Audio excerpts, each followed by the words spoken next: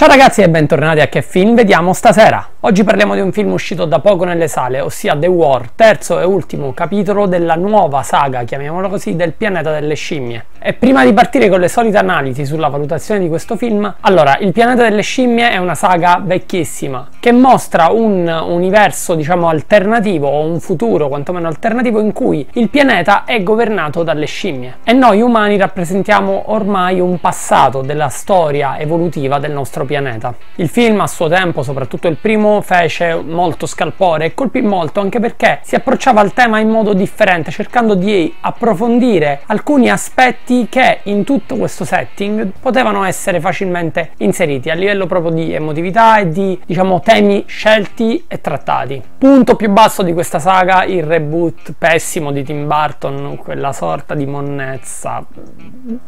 Ah, una delle cose peggiori che Tim Burton abbia mai fatto ma questa saga era destinata a tornare e l'ha fatto con due film, attualmente questo è il terzo che chiude la trilogia. Come potete vedere qui abbiamo il primo, l'alba del pianeta delle scimmie, in cui comincia questa epopea e in cui ci viene narrato un po' come queste scimmie si siano evolute, come siano nate e che introduce un personaggio che poi sarà centrale per tutta la saga, ossia Cesare. Cesare è il figlio di una delle scimmie a cui si stava sperimentando nel primo capitolo di questo film un farmaco per curare l'Alzheimer. Questo farmaco risulterà essere negativo per le persone e porterà quindi a una vera e propria moria di massa, a una sorta di epidemia. Un'epidemia senza il sorta, perché stiamo parlando di un virus, ma porterà nelle scimmie uno sviluppo cognitivo e quindi le farà diventare i futuri dominatori del mondo. Nel primo capitolo abbiamo un inizio, una narrazione che si concentra sulle vicende che porteranno alla nascita di Cesare e al suo sviluppo. Cesare qui sarà approfondito come personaggio principale, o quantomeno uno dei personaggi principali. E soprattutto questo primo film ci darà modo di capire come Cesare degli umani sappia molto. Riesce a vedere i lati negativi, ma soprattutto ha anche una chiave di lettura differente e positiva del genere umano, proprio perché ha avuto modo di piegarsi molto con alcune persone che sono state per lui una vera e propria famiglia e quindi di poter vedere quanto di bello in noi uomini, se tralasciamo le montagne di merda,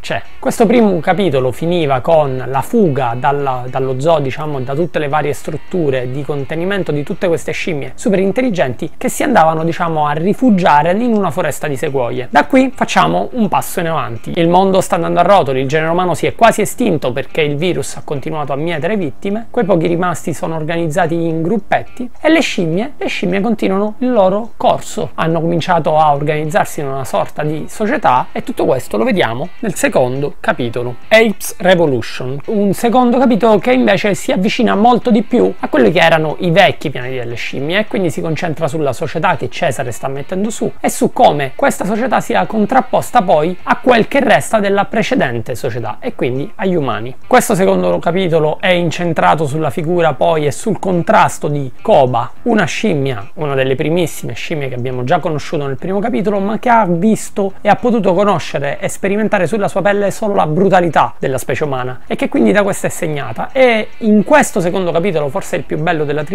avremo modo di vedere proprio la contrapposizione fra questi due carismaticissimi primati. Ed arriviamo finalmente al terzo, The War, o titolo originale, The War for the Planet of the Apes. Notate già che c'è una sfumatura differente nella scelta di questi due titoli, piccola ma sostanziale. Ma per parlare di questo andiamo alla valutazione finale.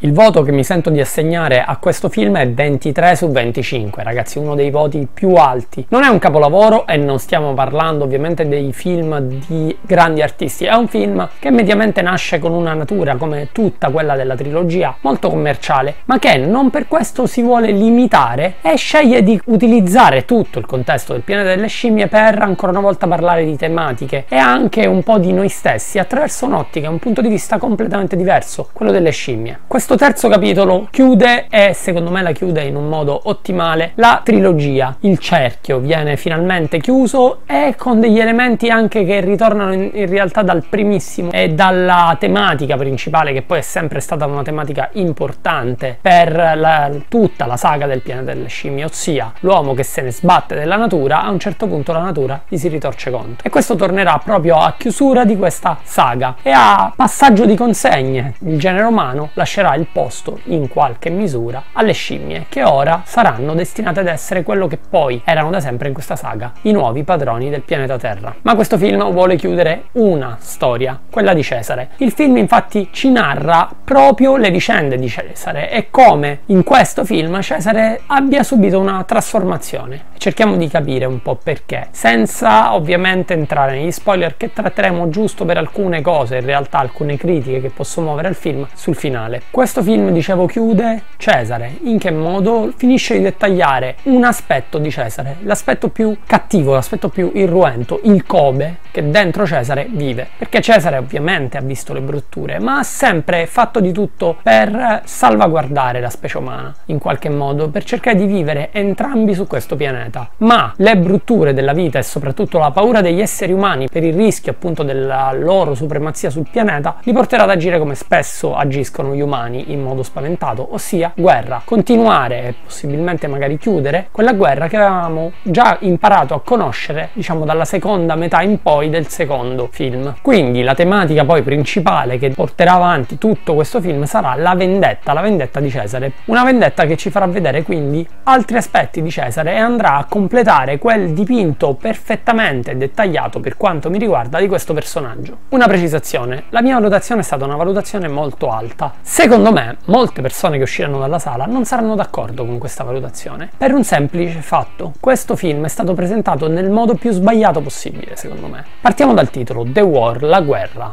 Ok, aggiungiamo il trailer, milioni di scene di azione e il tema della guerra che ritorna anche in tutte le parole che si sono scelte per questo trailer. Ma abbiamo un problema, questo film in realtà è più un drammatico che un film d'azione. Abbiamo più scene emotive e magari caratterizzate da un tentativo di aggiungere emotività, di aggiungere spessore anche morale rispetto delle scene di azione. Le scene di azione si contano davvero su una mano. Sono scene d'azione tutte interessanti, ma sono poche la maggioranza di queste scene sarà sviluppo psicologico dei personaggi, sarà nuovi dettagli su questo universo con una novità assoluta, tra l'altro che non vi voglio in alcun modo introdurre. Ma sarà questo, sarà un film drammatico, un film emotivo con le scimmie, sotto un punto di vista differente, quello di Cesare e del suo gruppo. Ora, questa cosa ha creato scontenti. Quando io sono uscito dalla sala ho sentito molti commenti negativi di persone attorno a me e secondo me questo film non merita questi commenti. È chiaro che però se me lo presenti come un film d'azione in cui la guerra è centrale e io vado a vederlo per quello, ci resto male. Io personalmente sono restato piacevolmente colpito. Forse avrei gestito meglio i ritmi, ma ne parleremo più avanti. Ma questo film chiude perfettamente tutto quello che ha introdotto precedentemente tutta la narrazione, sia per quanto riguarda le vicende delle scimmie, le vicende del genere umano, e soprattutto per quanto riguarda Cesare, personaggio magistrale che è centro e fulcro di tutta questa saga. Quindi io vi consiglio caldamente di vedere questo film, ma vi consiglio di tenere a mente questi elementi. Questo è un film che ha delle scene importanti anche d'azione, ma non è un film che è solo d'azione, è un film ancora una volta emotivo, in parte drammatico, con degli elementi morali interessanti. Per sviscerare tutto questo però andiamo nella pagella partendo con il solito voto a fotografia, regia e montaggio a cui mi sento di assegnare un 4,5. Mi sarei potuto quasi sbilanciare su un 5 per quanto questo film mi è piaciuto. Ha un'ottima fotografia generale, la regia è molto bella complessivamente certe immagini restano, anche nel trailer le potete vedere, alcune di queste, e riescono a colpire. Poi il fascino per questo universo, ma ne parleremo fra poco, è molto forte. L'unico neo che mi sento personalmente di magari sottolineare è la lunghezza di certi campi, per cercare probabilmente di aumentare il senso, diciamo, complessivo emotivo e caricare ancora una volta le scene, molte scene sono state forse un po' troppo allungate, molte sequenze semi-statiche sono state troppo lunghe. Questo ha, insieme ad altri piccoli elementi che andremo a vedere più avanti, rallentato un po' troppo il ritmo e reso complessivamente il film meno performante. Per quanto riguarda invece la direzione artistica generale, voto di 5. Voto che si va ad aggiungere anche, e lo metto tutto insieme, a quello degli attori. Anche qui un altro 5, perché questi elementi diventano unico, ovviamente Ovviamente quando parliamo di tanta computer grafica, di tanto motion capture, quindi appunto cattura delle espressioni facciali di Cesare su tutti, ex Gollum, ricordiamo, l'attore lo stesso, ma di tutte le scimmie in genere, tutto questo è reso in modo magistrale. Il mondo di queste scimmie e il mondo che era nostro, che sta andando alla rovina, è molto bello. È reso magnificamente certe scene in cui magari vediamo la, una sorta di giungla quasi. Poi sembra sempre molto strano, visto che parliamo del Nord America, ma sti cavoli. Però vedere il pullman o quegli elementi tecnologici immersi in un universo più naturale affascinano senza ombra di dubbio come affascino appunto la resa di tutti questi attori virtuali, affiancati anche in buona parte da dei buoni attori in carne e ossa, forse sicuramente meno di rilievo, a parte il ruolo da cattivone. Si sente ovviamente l'assenza di una figura carismatica di contrasto come Koba, ma il cattivo scelto per questo film funziona perfettamente ed è perfettamente inscenato e costruito. Quindi ribadiamolo ancora una volta, questi due elementi sono molto validi e si meritano un 5 ognuno di essi. Ed andiamo invece a trama, intreccio e ritmo, con una valutazione un po' più bassa, 3,5, una valutazione sempre positiva, nonché il punto che mi ha messo più in difficoltà, perché in realtà la trama e l'intreccio sono interessanti, forse a tratti un po' scontati e banali, ma comunque sia interessanti. Il nodo più lento, diciamo, di tutta questa maglia è il ritmo. Il ritmo a tratti, come dicevo, anche per alcune scelte registiche, è un po' troppo lento. E soprattutto alcune scene due cose non mi sono piaciute particolarmente. Una sorta di comicità che forse è messa qui per stemperare certi elementi, ma che dal mio punto di vista è stata troppo forzata. E quindi ancora una volta mi ha fatto storcere il naso perché mi è parsa un po' fuori dal margine massimo concesso. Ecco, ok, il personaggio che fa sorridere l'ho apprezzato anche molto, ma non così tanto, non sempre. E poi una scena davvero mal fatta dal mio punto di vista, scena importante, emozionante, forte, ma non affiancata da una regia di livello. E secondo me si poteva trovare con una facilità incredibile una soluzione migliore a questa scena, soluzione che avrebbe sicuramente contribuito a non dissolvere un po' quell'incanto che serve sempre in un film, soprattutto quando vediamo qualcosa di completamente diverso dalla realtà. Peccato, ma di questo ne parleremo più avanti nella nostra parentesi finale spoiler. Prima di andare avanti, arriviamo all'ultimo punto, che si merita un altro 5 per emozioni, coinvolgimento e temi trattati. Perché? Perché il film, come ho detto, è quasi un film drammatico, ci emoziona fortemente e voglio premiarlo. Voglio premiarlo perché poi riesce a emozionarci facendoci vedere delle scimmie, ok? Cesare ormai per noi è quasi di famiglia, è quasi un umano. Ed in più la scelta di tutti i temi torna a essere ancora una volta preponderante. Ok, non stiamo parlando di Shakespeare, è ovvio, ma stiamo parlando di un film che dice per una volta non voglio essere semplicemente frivolo, ma voglio osare, voglio dirvi qualcosa di più, cosa che aveva già fatto in realtà nei due precedenti capitoli, ma che ancora una volta ritorna e merita dal mio punto di vista questa valutazione massima. Quindi, in conclusione, prima di salutarci e parlare un po' più di alcune cose sotto spoiler, vi invito caldamente a recuperare questa saga se non l'avete fatto. Secondo me delle saghe fantascientifiche recenti è una di quelle più valide e più interessanti. E il secondo capitolo resta forse il più bello dei tre, ma anche questo terzo capitolo è molto interessante. Il primo è un po' semplicistico in certe cose, è sicuramente il più acerbo dei tre, ma ci dà quegli elementi che comunque deve darci un primo film e quindi quindi tutta la saga consigliata caldamente. Detto questo, come sempre, invito iscrizioni, like, condivisioni, bla bla bla. Ci si rivede la prossima settimana e per chi avesse già visto il film o voglia vedere gli spoiler fregandosene, aspettate qualche istante e torno subito da voi.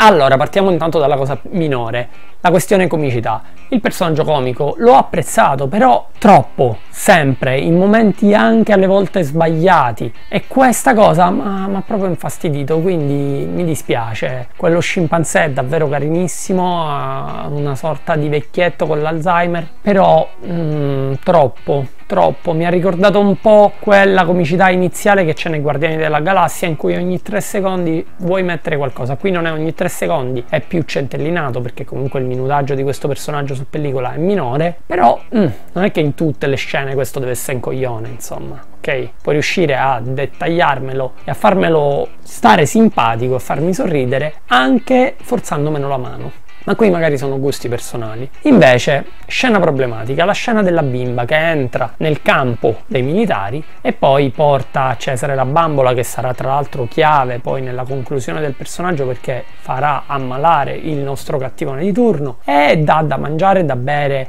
a Cesare dandogli un po' quella spinta. È una scena bellissima a livello emotivo perché ci dice un po' chissà quale sarà la direzione del genere umano, forse sarà proprio questa, diventare dei vassalli, degli animali quasi, con un affetto sicuramente maggiore, con degli elementi diciamo emotivi maggiori, ma comunque un passo indietro a livello evolutivo rispetto a ciò che siamo ora ed è molto bella, ma soprattutto è molto bella perché si riempie di significati simbolici, è proprio bella, è forte, è intensa, ma è girata male. Perché è girata male innanzitutto?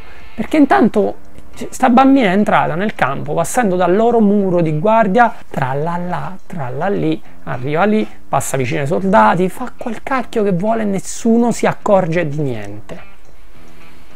No, non si gira così. Ok, la vuoi fare perché è una bella scena, io questo lo capisco. La risolvi facile dal mio punto di vista e questa cosa mi ha fatto proprio ammattì. Per esempio, perché non hai scelto di collocare le due gabbie in un posto magari meno evidente? Lei si introduce e io ci posso passare oltre il fatto che i soldati non la notano, no? perché magari in una zona isolata e sti cazzi, e invece no, è accanto alle baracche dove vediamo milioni di soldati. E in più, quando lei passa, noi vediamo soldati ai margini dell'inquadratura, vediamo gente che si muove, vediamo luci un po' dappertutto e nessuno nota una bambina a centro di cazzo, a centro di campo, che sta lì pure un sacco di tempo. Vuoi mettere sta scena? Io lo capisco perché ci sta bene ed è bella. Ma cazzo, bastava gestirla meglio, mi facevi, non mi facevi vedere i soldati, me la facevi un po' più buia e io pensavo è notte, sono pochi, sanno che l'attacco che stanno aspettando è numeroso, quindi si rilassano e quindi nessuno se la caga. E va bene, invece no, io vedo un uomo a destra, se ricordo bene, quando le passa dal muro e quello sta di spalle che si sta facendo i suoi cavoli, la bimba passa tipo a 4 metri, a passo proprio tranquillo e quello non si girerà mai. Uomini nella baracca, 20 metri più avanti,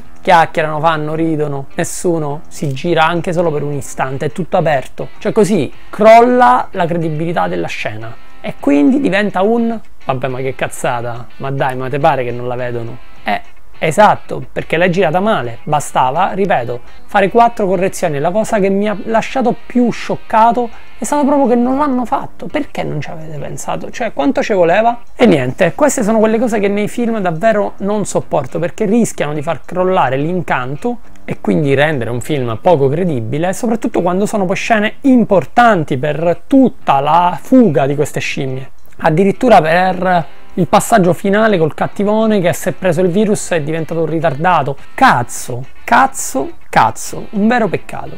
E niente, ora che mi sono tolto questo peso dallo stomaco, ci possiamo salutare davvero e ci rivediamo la prossima settimana. Devo ancora decidere cosa mostrarvi. Detto questo, per ora vi risaluto per la milionesima volta. Grazie sempre per la vostra attenzione. Ciao ragazzi, alla prossima e buona visione.